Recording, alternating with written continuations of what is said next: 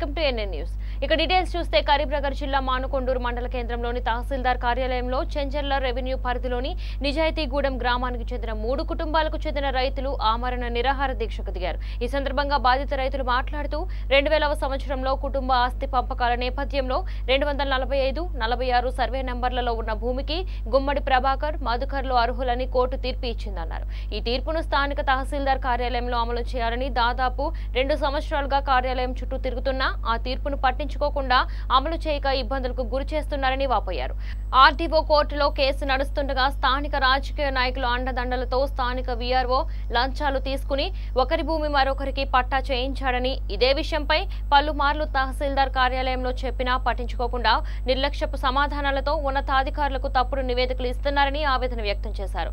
ఇప్పటికైనా ఉన్నతాధికారులు స్పందించి ఎల్ఆర్ యూపీలో జరిగిన అవకతవకలపై విచారణ చేపట్టి బాధ్యులపై చర్యలు తీసుకోవాలని కోరారు.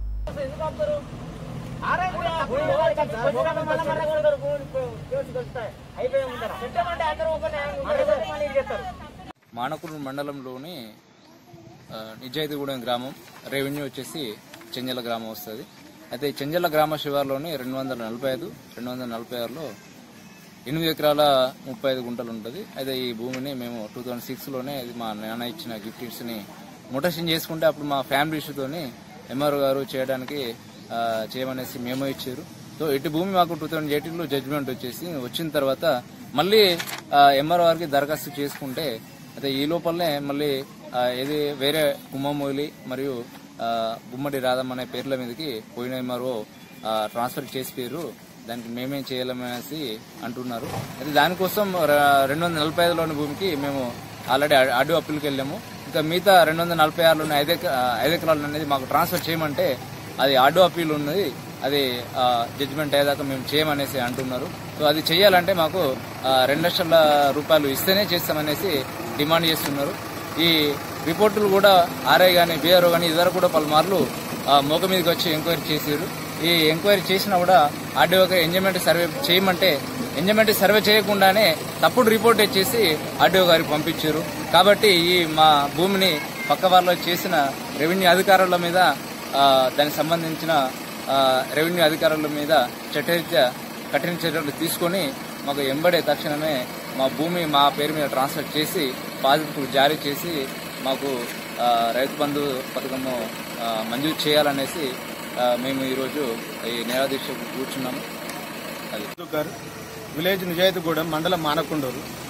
చంజాల గ్రామ శివార్లో రెండు వందల నలభై ఐదు రెండు వందల నలభై ఆరు రెండు సర్వే నెంబర్లలో మాకున్న భూమి ఆరు ఎకరాల ముప్పై ఐదు గుంటల భూమిని వేరే ఇతరులకు పట్టా మార్పిడి చేసిర్రు. మాకు చేయమంటే కోర్టు కేసులు ఉన్నాయంటున్నారు కోర్టు కేసులు ఉన్నా కూడా వేరే వాళ్ళకి పట్టా మార్పిడి చేసిర్రు అధికారులు. మాకు కనీసం న్యాయం చేయండి మాకు ఇవన్నీ తప్పుడు దరఖాస్తు తప్పుడు సాధబైనామతో చేసిర్రు తప్పుడు ఆధారాలతో చేసిర్రు. కనీసం మాకు న్యాయం చేయండి దీన్ని పట్టించుకోండి అంటే ఎంతకు చేస్తలేరు. పైగా ఏ రెండు లక్షల రూపాయలు లంచం ఇస్తేనే మీ వైపు చూస్తాం తప్ప మేము దాని మీద పట్టించుకోమని బెదిరిస్తున్నారు. ఇప్పటికి దీని తిరిగి తిరగబట్టి పద్నాలుగు సంవత్సరాలు దాటింది. కానీ మా వైపు ఏమాత్రం న్యాయం మెదక్ పట్టణంలో సాయి బాలాజీ గార్డెన్లో భారతీయ జనతా పార్టీ కార్యకర్తల సమావేశం ఏర్పాటు చేశారు. ఈ కార్యక్రమానికి ముఖ్య అతిథిగా హాజరైన రఘునందన్ రావు మాట్లాడుతూ రాబోయే రోజుల్లో ప్రధాని నరేంద్ర మోడీ వ్యవసాయాన్ని కూడా కోళ్ళ ఫారం మాదిరిగానే తయారు చేస్తున్నారని విత్తనాలకు రోగం వస్తే ఏదైనా విపత్తు జరిగితే ఇన్సూరెన్స్ వచ్చేలా చూస్తున్నారని కొనియాడారు. ఈ నెల పదకొండవ తేదీన రాష్ట్ర అధ్యక్షుడు మొదలుకుని పోలింగ్ బూత్ ఏజెంట్ వరకు ప్రతి ఒక్కరూ జట్టుగా ప్రతి ఇంటికి వెళ్ళి విదేశీ ఉత్పత్తులను బహిష్కరించాలని చెప్పాలన్నారు. మొదటి తప్పు ఆర్టికల్ త్రీ సెవెంటీని టెంపరవరీ ప్రొవిజన్గా పార్లమెంట్లో తీసుకొచ్చి భారత రాజ్యాంగంలో పెట్టింది. పంతొమ్మిది వందల యాభైలో రాజ్యాంగంలో పెట్టిన త్రీ సెవెంటీ రద్దు చేయడానికి డెబ్బై ఏళ్ళు పట్టింది. జవహర్లాల్ నెహ్రూ ఇందిరాగాంధీ గొప్ప గొప్పలు ఈ దేశాన్ని ఏలిండ్రు. సాఫ్ట్వేర్ విప్లవం తెచ్చిన రాజీవ్ గాంధీ గారికి కూడా ఇది టెంపరవరీ ప్రొవిజన్.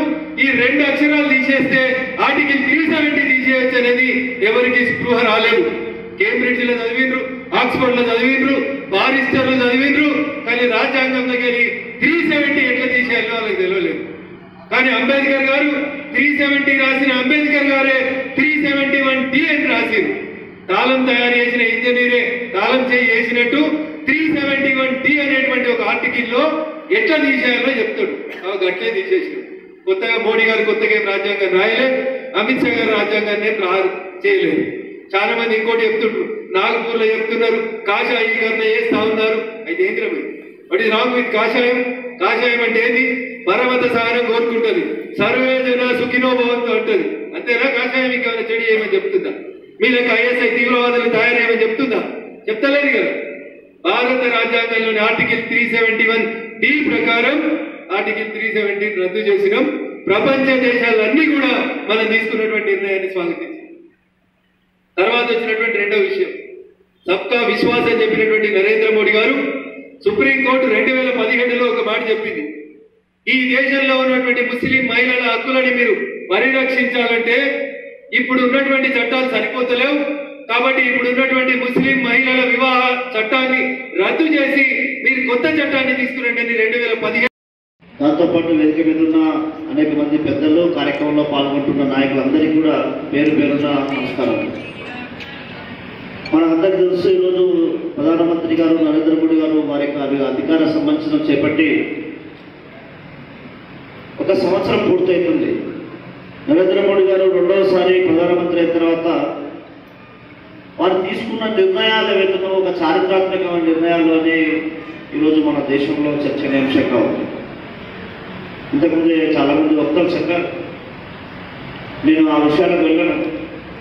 కానీ కొన్ని విషయాలు మాత్రం మీకు సంబంధించినగా తెలియజేయాల్సిన అవసరం ఎందుకంటే మనందరం కూడా రేపు ఇంటింటికి వెళ్ళి నరేంద్ర మోడీ గారు రెండవసారి ప్రధానమంత్రి అయిన తర్వాత వారి యొక్క సంవత్సరం పాటు జరిగిన కాలక్రమంలో వారు జరిగిన కార్యక్రమాల గురించి చెప్తప్పుడు అనేక సంస్కరణలు ఈరోజు భారతదేశ సంబంధించిన ప్రభుత్వంలో తీసుకొచ్చిన అంశం మనం చెప్పాల్సిన అవసరం ముఖ్యంగా ఈరోజు వ్యవసాయం సంబంధించిన విషయంలో ఈరోజు మీ అందరికీ కూడా పేరు పేరున పాత్రికేయ సోదరులందరికీ పేరు పేరున నా నమస్కారాలు. ఈ కరోనా వల్ల చాలా చెదరైనాం. ఇది ఫస్ట్ మీటింగ్ మనది. బహుశా రాష్ట్రంలోనే ఇంత క్రమశిక్షణగా మీటింగ్ పెట్టుకోవడం మనమే ఫస్ట్ ఏమో ఇది నాంది రాబోయే రోజుల్లో కూడా నెంబర్ వన్గా ఫస్ట్గా ఉండేది ఇది నాంది లాంటి మీటింగ్ లాంటి అనుకుంటున్నాను. ఎందుకంటే గతంలో బీజేపీ పార్టీ బ్రహ్మాండంగా తెలుగుదేశం పార్టీ ఒకప్పుడు పదికి పది ఎమ్మెల్యేలు గెలుచున్న రోజుల్లో ఇక్కడ మెదకులో బీజేపీ పార్టీ కూడా మంచి బలంగా ఉంది. ఏమన్నా చెప్పాలను చెప్పాలను నరేంద్ర గారు ఏడు నియోజకవర్గాల నుంచి కానీ ఇక్కడ నుంచి ఇక్కడ కూడా మెదక్ కాన్స్టిట్యున్సీ కూడా నేను అనేది చైతన్య రెడ్డి నాకు ధైర్యం చెప్తాను. బ్రహ్మాండంగా ఉండే చాలా ఎక్కడ మిత్రపక్షంగా ఉండేది కాబట్టి నేను సినిమా యాక్టర్ ఉన్నప్పుడే కండవ బీజేపీ పార్టీ కండవ టీడీపీ పార్టీ కండవ వేసుకొని ప్రచారానికి వచ్చినాం. అప్పటి నుంచి కూడా బలోపేతంగా ఉంది కానీ టీడీపీ పార్టీయే మిత్రపక్షం అని పక్కన పెట్టి మన జెండా లేకుండా గెలవలేదు. మేమందరం కూడా కానీ ఆ పరిస్థితుల్లో ఏంటంటే పనులు ఇచ్చేవాళ్ళు కాదు పనులు ఇచ్చేవారు కాదు నిరాశ చెంది నిరాశ చెంది సరే అని కరోనా వైరస్తో మృతి చెందిన జర్నలిస్ట్ మనోజ్ కుటుంబానికి ప్రభుత్వం యాభై లక్షల రూపాయల నష్టపరిహారం ఇవ్వాలని జన జాగృతి సేన అధ్యక్షుడు బంగారు కృష్ణ డిమాండ్ చేశారు. ఇందులో భాగంగా తన నివాసంలో జర్నలిస్ట్ మనోజ్ కుటుంబానికి యాభై లక్షల నష్టపరిహారం ఇవ్వాలని నిరాహార దీక్ష చేపట్టారు. అనంతరం వారు మాట్లాడుతూ పగలు రాత్రి తేడా లేకుండా వార్తలు సేకరిస్తూ ప్రజలకు ప్రభుత్వానికి వారధిగా ఉన్న జర్నలిస్టులకు బీమా కల్పించడంలో కేంద్ర రాష్ట్ర ప్రభుత్వాలు నిర్లక్ష్యంగా ఉన్నాయని మండిపడ్డారు. కేంద్ర రాష్ట్ర ప్రభుత్వాలు ఇప్పటికైనా స్పందించి జర్నలిస్టులందరికీ కరోనా బీమా యాభై లక్షల రూపాయలు కల్పించాలని డిమాండ్ చేశారు. ఈ కార్యక్రమంలో జన జాగృతి సేన ఉపాధ్యక్షుడు సూర్యకాంత్ మధు తదితరులు పాల్గొన్నారు. జాగృతం చేయడం కోసం జర్నలిస్టులు అనేవాళ్ళు అహర్నిశాలు కష్టపడుతుండ్రు. ఈ కోవిడ్ నైన్టీన్ కరోనా వైరస్ ప్రారంభం నుండి కూడా ఈరోజు కరోనా వైరస్ లక్షణాలు దాని వ్యాప్తి నివారణకు సంబంధించి ఈరోజు ప్రజలు ఇంత పూర్తి అప్రమత్తంగా ఉన్నారు ఈ కరోనా వైరస్ పైన అంటే దానికి కారణం జర్నలిస్టులు. అట్లాంటి జర్నలిస్టు అట్లాంటి జర్నలిస్ట్ ఈరోజు ఫీల్డ్ స్థాయిలో ఈరోజు ప్ర- ఈరోజు ఫీల్డ్లో ఈరోజు మొత్తం హాస్పిటల్లో ఈరోజు హాస్పిటల్లో కోవిడ్ కేసుల పరిశీలన కానీ లేదంటే మిగతా ప్రజలు ప్రజలు ఎక్కడెక్కడ గుంపులు గుంపులు ఇవన్నీ కూడా జర్నలిస్ట్ అనేవాళ్ళు దగ్గరుండి వాటిని ఫోటో వీడియో తీసి వార్తలు సేకరించి ఈరోజు ఈరోజు ప్రజలందరినీ చైతన్యం చేస్తున్నటువంటి చైతన్యం చేస్తున్న ప్రభుత్వానికి కూడా సమాచారం అందిస్తున్నటువంటి పరిస్థితి ఉంది. ఈరోజు అట్లాంటి పరిస్థితుల్లో ఈరోజు హైదరాబాద్కు చెందిన జర్నలిస్టు మనోజ్ మనోజ్ అన్న నిన్న కోవిడ్ నైన్టీన్తో మృతి చెందడం చాలా బాధాకరం.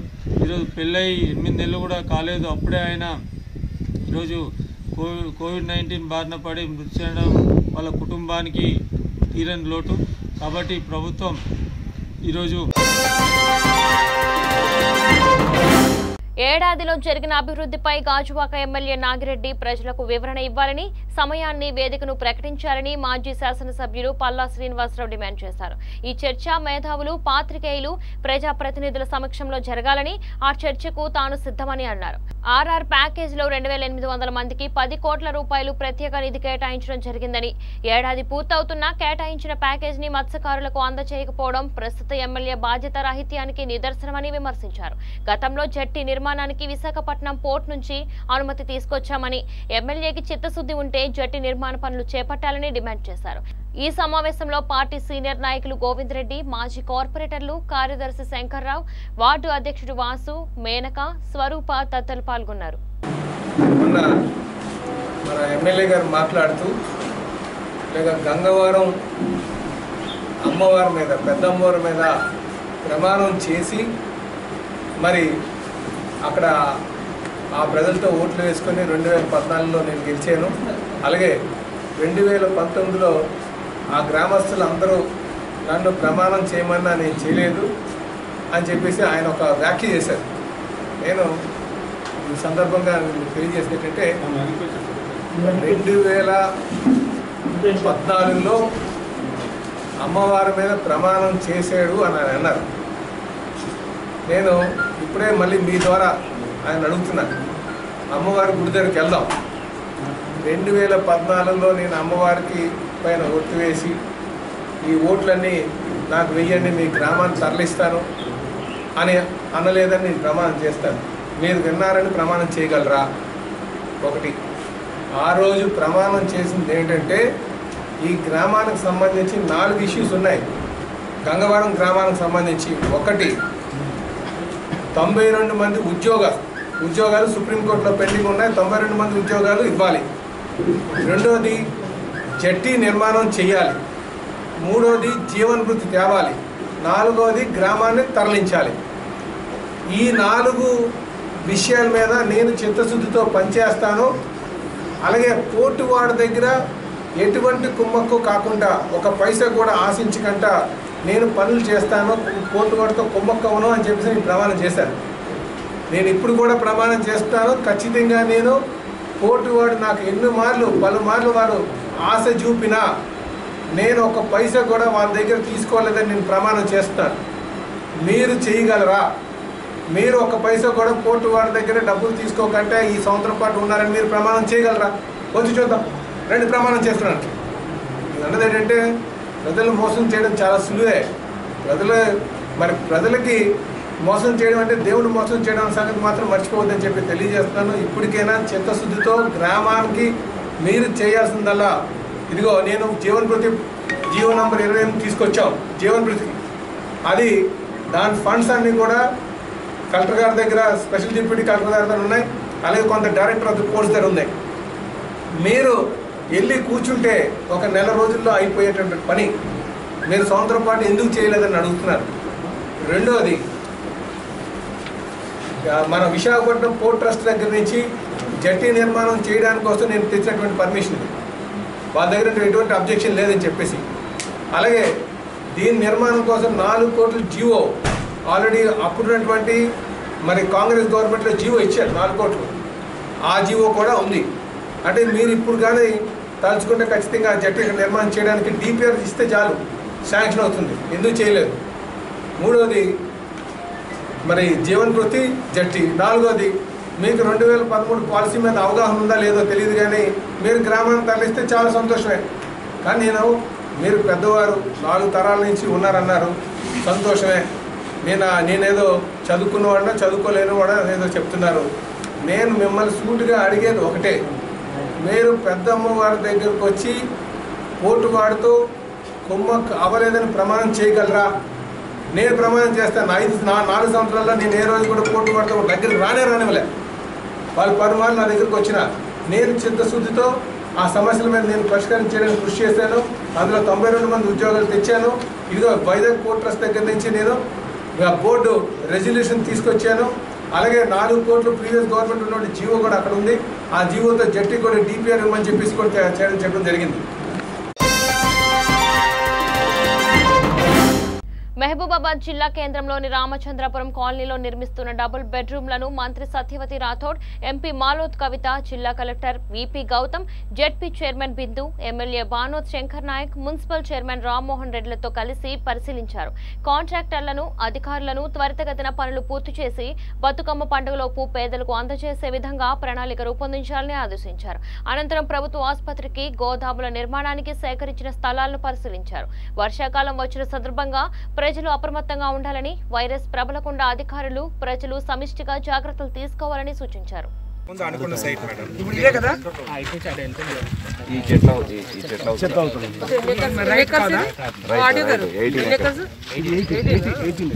ఇంకా కొన్ని ఏడో ఎనిమిది ఎకరాల మీద కోర్టు తీసుకుంటా మూడు ఎకరాల? ఆ twenty three acres twenty twenty one acres propose చేశారా? ఇప్పుడు దీంట్లో ఎవరో ముప్పై ఎనిమిది గుంటలు క్లెయిమ్ చేస్తున్నది ఏ పోర్షన్ సో ఏం ప్రాబ్లం లేదు మీకు పెట్టలే దే టోల్డ్ టు ప్రొసీడ్ అది Roger has to do issue some notices conduct ఇప్పుడు మెగా కూడా మంచి ఏజెన్సీ కలెక్టర్ గారు. కానీ నేనేమంటానంటే ఫర్దర్గా ఏదైనా లోకల్ వర్క్స్ వస్తే ఎక్కడి నుంచో సెప్టెంబర్ ఇవన్నీ సెప్టెంబర్ నేను రేపు క్యాబినెట్ కూడా చెప్తాను సార్ మేము సెప్టెంబర్లో. ఇది స్టార్ట్ చేస్తున్నాం. మహబాద్లో ఉన్న పాత మొత్తం దాంట్లో టూ హండ్రెడ్ హౌజెస్ మేము సెప్టెంబర్లో. కేటీఆర్.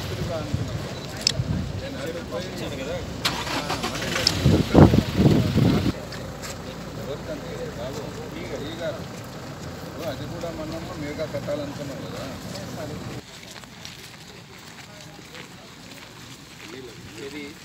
పదిహేనవ తారీఖు పదహారవ తారీఖు ఒక ఆరు వందల ఇల్లు ఆ, ప్రారంభం జీవో త్రీ పునరుద్ధరణ కోరుతూ రాష్ట్ర బంద్కు ఆదివాసీ సంఘాలు పిలుపునిచ్చాయి. ఇందులో భాగంగా గిరిజన సంఘాల ఆధ్వర్యంలో పశ్చిమ ఏజెన్సీ పోలవరం బుట్టాయిగూడెం జిలుగుమిల్లి కుక్కునూర్ ఏలేరుపాడు మండలంలోని సంపూర్ణంగా బంద్ కొనసాగుతోంది. జీవో త్రీపై తెలుగు రాష్ట్రాలు రివ్యూ పిటిషన్ వేయాలని డిమాండ్ చేస్తున్నారు. ఈ క్రమంలో ఎలాంటి అవాంఛనీయ ఘటనలు జరగకుండా పోలీసులు భారీ బందోబస్తు ఏర్పాటు చేశారు. కాపాడుకుందాం జీవో నంబర్ మూడును కాపాడుకుందాం కాపాడుకుందాం. జీవో నంబర్ మూడును కాపాడుకుందాం కాపాడుకుందాం. చేయాలి జీవో నంబర్ మూడు శాతం రిజర్వేషన్ సదుపాయం ఏజెన్సీలో. ఈరోజు ఏజెన్సీ మన్యం బంధు ఏదైతే గిరిజనులకి సుప్రీంకోర్టు వార్త చెడు వార్త చెప్పిందో దానికి నిరసనగా కేంద్ర రాష్ట్ర ప్రభుత్వాలు రివ్యూ పిటిషన్ వేయాలని అలాగే ఉద్యోగాలు వంద శాతం గిరిజనులకి ఇవ్వాలని చదువుకున్న నిరుద్యోగులు ఈ రోజున రోడ్లలోని పట్టుకొని తిరుగుతున్నారు. ఈరోజు అందరి ద్రాక్షలాగా ఉద్యోగాలు ఉన్న తరుణంలోని పిడుగులాంటి వార్త వచ్చింది. ఈ ఎమ్మెల్యే కేంద్ర రాష్ట్ర ప్రభుత్వాలు జోక్యం చేసుకొని అటు తెలంగాణ ఇటు ఆంధ్ర జోక్యం చేసుకొని రివ్యూ పిటిషన్ వేయాలని చేస్తున్నాం. ఇంతకుముందు ఎమ్మెల్యే గారికి ముఖ్యమంత్రి గారికి ఆదేశాలు చేయమని మన పిటిషన్ పెట్టాం. ఇంతవరకు వాటి మీద ఏం చేయట్లేదు. ఎమ్మెల్యే గారికి కూడా వినతి పత్రాలు ఇచ్చాం. దాని మీద సబ్ కమిటీ చేసి మేము తీర్మానం పంపిస్తామని అన్నారు. కానీ వార్తలకే వస్తున్నాయి తప్ప కానీ ఇంతవరకు పిటిషన్ వేయకపోవడం కాలయాపన చేయట్లోని మేము తీవ్రంగా గిరిసంఘంగా వ్యతిరేకిస్తున్నాం. ఎమ్మటే రివ్యూ పిటిషన్ వేసి ఆర్డినెన్స్ జారీ చేయాలని మేము విజ్ఞప్తి చేస్తున్నాం. రైట్ ఇవి ఇప్పుడు వరకు అప్డేట్స్ చూస్తూనే ఉండండి. ANN news.